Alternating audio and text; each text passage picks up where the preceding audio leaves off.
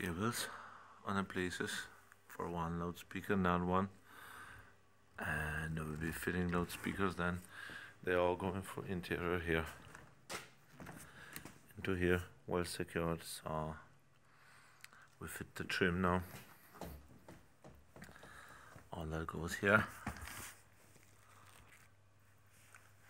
Here underneath and over there. They'll be well secured now so and so far they all sticking out here so. Loudspeakers gone one and then that one all the cables are over there kind of yes